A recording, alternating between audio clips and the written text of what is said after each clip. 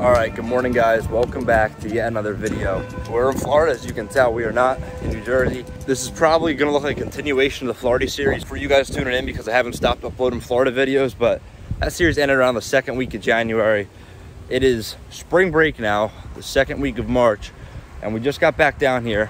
I drove down yet all day yesterday from New Jersey. I left around 8 a.m. And I didn't get here till 2 o'clock in the morning. We're getting an early start, only had a couple hours of sleep last night. We're actually gonna be fishing with Rich from Fishaholic today. He was supposed to meet me there at six. He overslept. I kind of overslept. It's 6:45 now, but we're not gonna waste any time. I've got a Yo-Zuri topwater tied on right here, as you can see. We're gonna get down there. There's some water right behind where we're gonna wade. We're just gonna kind of wait around for a couple hours. It's super windy. There's not too much we can do about that, but we're gonna get out there. We're gonna send it. So stay tuned. We'll chat with Rich when he gets here in a couple minutes. But for right now, we're gonna get down there to the water right behind me start making some casts, hopefully catch some fish. Today's bucket list is snook, jack, um, pretty much any of the Florida inshore, inshore species. So let's not waste any more time. Let's throw the GoPro on. Let's get down there and start catching some fish.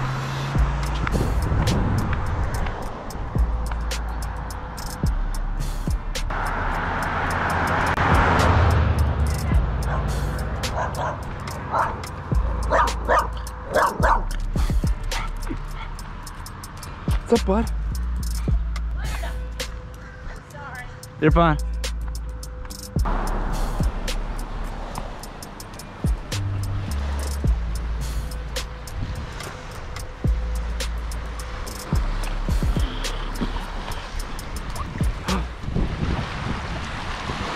There's a fish right there, dude. Just got down here a couple seconds ago. Water is filthy, man. Absolutely gross. Warm though. There's little fish jumping in here. Look like mullet though.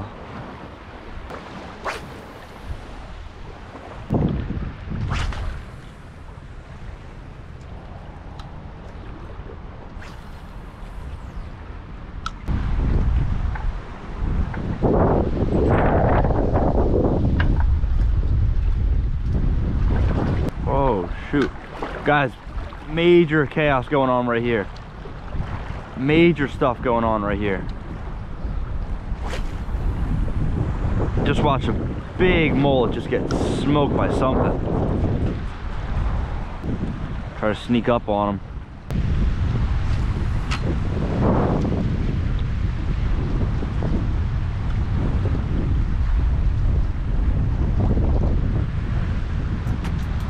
Oh, just got smoked right there, dude. Dude, no way.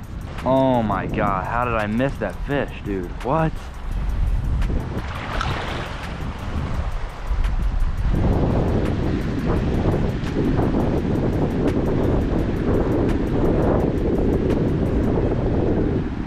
Missed him again, bro.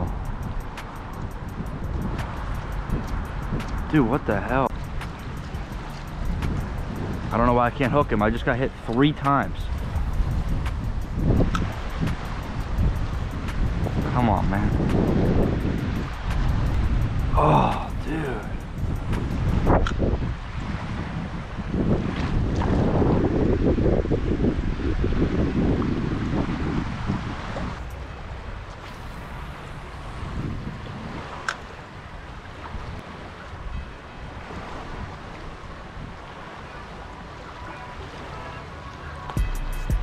We're on, we're on, we're on. Oh my God, we're on. Let's go. Snook, snook. We're on, baby, we're on. Snook. Oh no, not to the oyster bed. Oh no, oh God. Oh God, off the oysters, off the oysters. Off the oysters, bro. Off the oysters. Come on, come here. He's right on the oyster bed, dude. Worst place for him to be. Oh, just spooked another snook. Just spooked another snook. Dude, they were stacked in here. Come on, bud. Stay hook, stay hook, come in. Oh, he's charging, dude. Charging.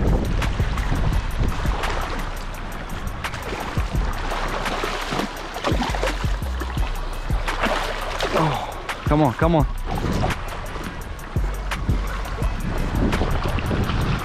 Come here, little guy.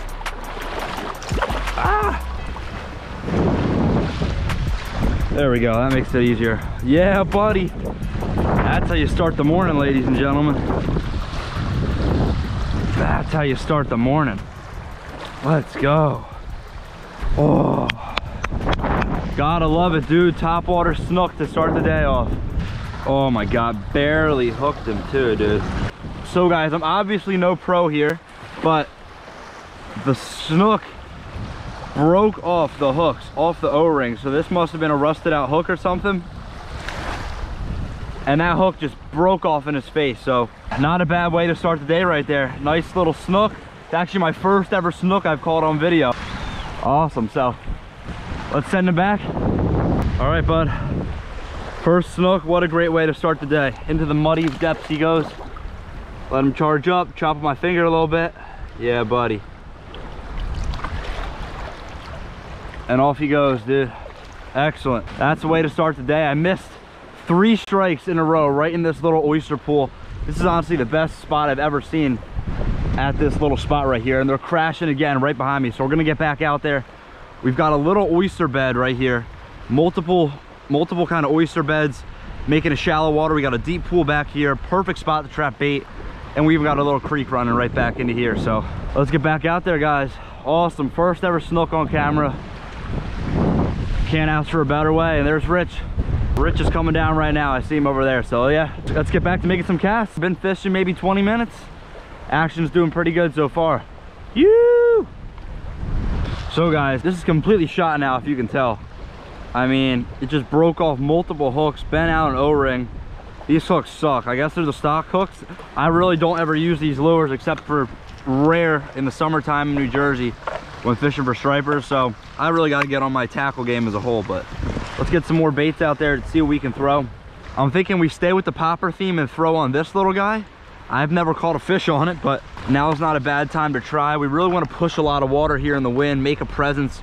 We got muddy water windy conditions. It really really makes it hard to get that that presentation you need to grab the attention of these fish. So this popper should push enough water to do it. So let's tie this on and start making some casts with it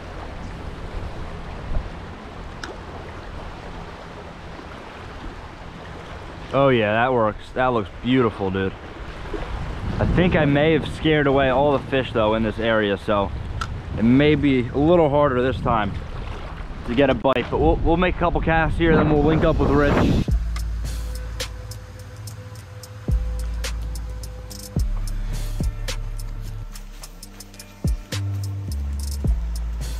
Check this thing out, dude. Some to the waterfall back there, probably from the road. Gnarly, man.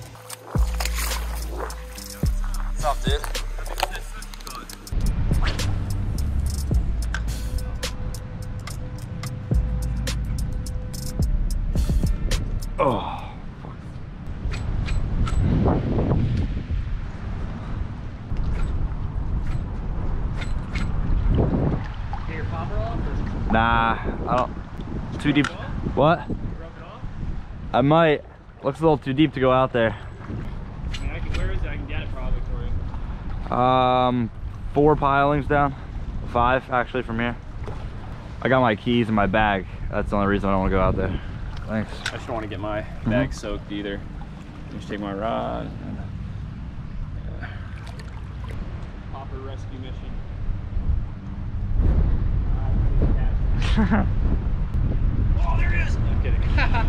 gotcha. Did I get you a little? No. Oh. I was watching the whole time. Thank you, man.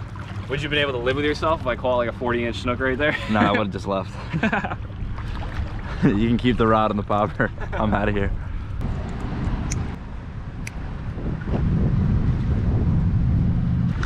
So guys, while we're walking over the next spot, I just want to go over our setup right now. We're using a 2500 Daiwa BG. This is on a 7.6 Mojo Inshore, rated fairly light. This only rated an eighth of an ounce to a half an ounce. We're working with 20 pound Power Pro right here, fairly loose drag. And then we've got a 25 pound fluorocarbon leader. And then the Voodoo shrimp I just showed you is our lower choice of the moment. So we're gonna walk out to these sticks right here, trying to make a couple casts. Um, you can't really blind cast too much with this little shrimp, but the wind's picking up. Probably don't have too much longer to fish. We're gonna work these next couple docks, then maybe head back and kind of give it a restart and see what we can do back there. But make a couple casts up here at these sticks, see if someone wants to come out and play.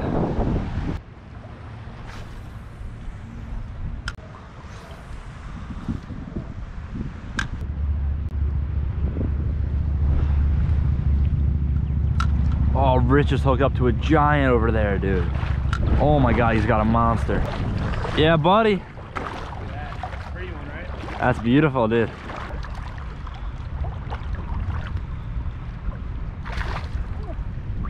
It's a hot fish. Sweet, Right dude. off. Nice job. Thanks, bro. Dude, I thought it was like a 40 from back there. I saw a jump. I was like, oh my God, I gotta thought run over there. Too. You know what's crazy is, uh, like, you know, I forgot my pliers and my snips, right? So I just casted it with the tag in, and he still Oh, there you go. ate it. It's awesome. but um, I borrow your pliers? Cause I need Yeah. uh, so guys, we didn't last too long with the voodoo shrimp. Just showed you Rich just landed a uh, decent sized, smaller snook right over here at this dock. So he gave me a couple of his Fishaholic finback shad. This is the four inch model right here. Got a white body with a chartreuse tail, so it should help stand out in this murky water we got. And with the heavier winds, we got a heavy jig head on. Be able to cast a little bit farther and be able to be in constant contact with the lure. So we're gonna fish these next couple docks down here. We've got a I don't know, half dozen or so to fish, and then we're gonna reconfigure, maybe restart over there at the couple other docks. Fishing should be better with this Fishaholic finback shad here, so start, start making a couple casts. Hopefully catch a couple more stuff. Stay tuned.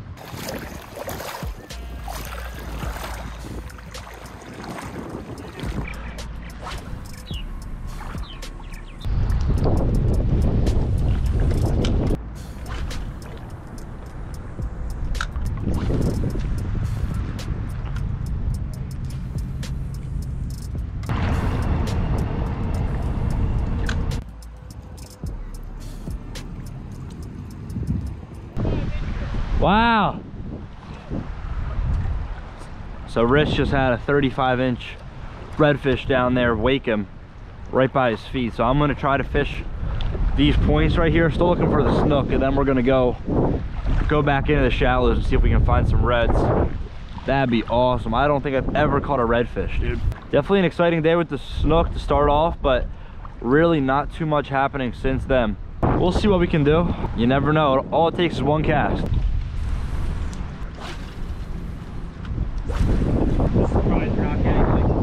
Bites. There's a jack right there. See that? So guys, mid-morning update. Just got done fishing all the way to the northern extremities of this this stretch of beach right here. I had that one snook pretty much right when I got started, right at daybreak. And then Rich got lucky and he caught two. Um, one he had pretty much as soon as he got out there in the water on his second cast with tying on the finback shad. And then he had one a couple minutes ago right here in the shallow water. So we're gonna make our way all the way to the southern part of these docks where they kind of begin. What we found out recently is that the fish seem to be right up here, right in the shallows. Don't know if that has anything to do with the wind today or what's really going on, but we fished the points of pretty much all these docks out here with not much to show for it. So we'll start fishing shallow here, see what we can do. Stay tuned, folks.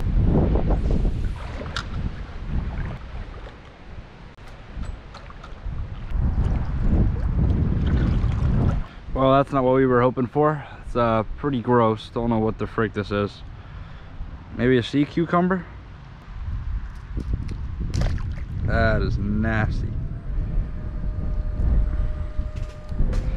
Yuck.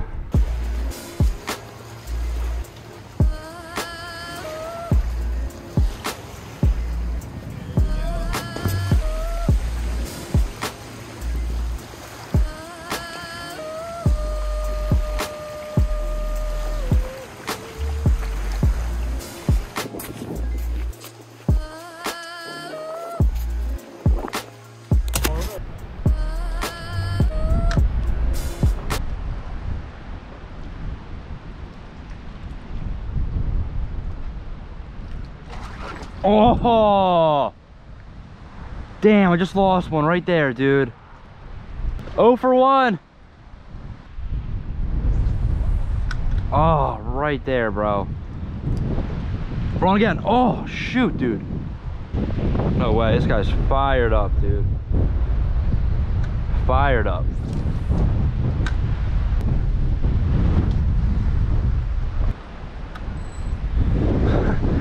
Wind gust just blew this guy's boat cushion off. Since I'm fishing next to his dock, see if I can catch it for good luck.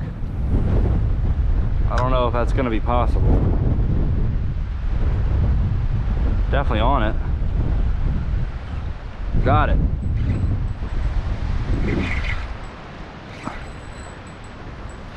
There we go. Saving the day.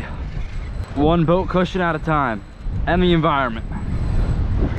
There's a mega storm coming in. We're on, baby.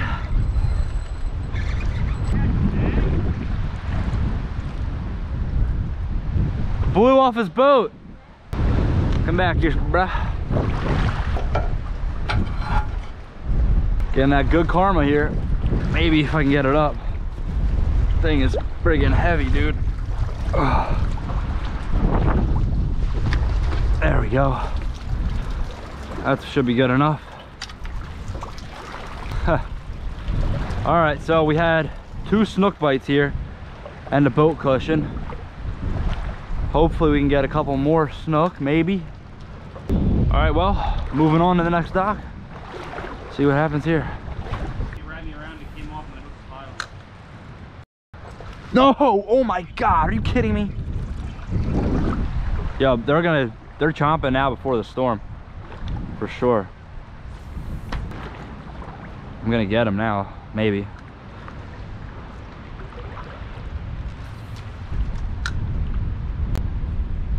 Got him.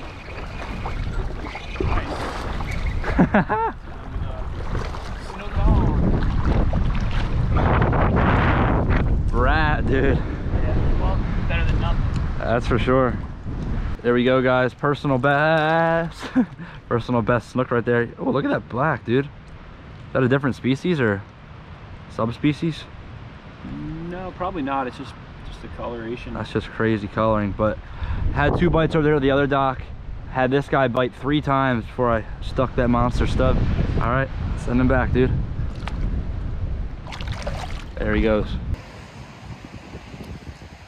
That don't look too good, but the fish are chomping.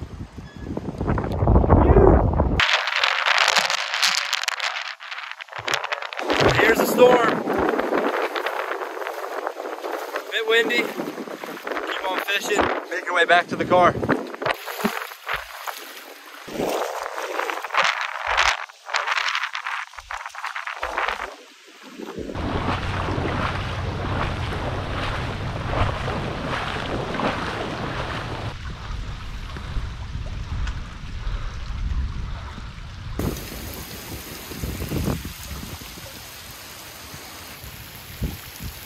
All right, guys. So back where we started off the day, climbing up some some crazy natural cliffs here. Pretty crazy day. Started off sunrise, catching my first ever snook on top water. Had a bunch of strikes. Really kind of woke me up after driving uh, thousand miles yesterday, getting two hours of sleep, and kind of just waking up and jumping right into it. And then ended off the day fishing through a crazy thunderstorm that really kind of snuck up on us. It was in the distance, then all of a sudden it was just pouring rain. The temperature went It from was, 85. it was like raining sideways.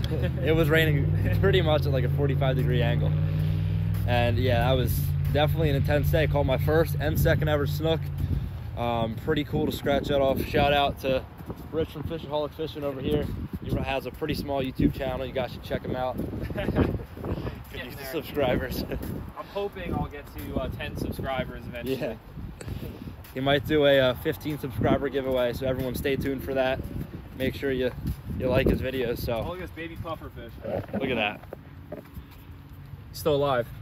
Stuck Oh. on the beach. Live line that. Let's see if he swims away. Oh, he's not swimming. He's No. popped up. He's still alive. He's just Oh, there he goes. Rain and puffer fish out here, guys. You never know what to expect. Great, great first day here in Florida. We're gonna be here for probably 10 more days fishing pretty much the southern 50% of the state. And uh, yeah, can't ask for a better, better way to start off the trip. So stay tuned for the rest of the series, guys. Back down here yet again. Got to drive down to the Keys tonight. Probably another three, four hours of driving. Then we'll settle in for a couple days, travel around, and see what happens. So thanks for tuning in, guys. Hopefully you enjoyed this video. If you guys could, like the video and subscribe to the channel. I've been saying in the past couple videos now. Really just trying to grow the channel. We've been seeing some some pretty some pretty good growth in the past couple months. So good to see that. And uh, yeah, see you in the next one, guys. You.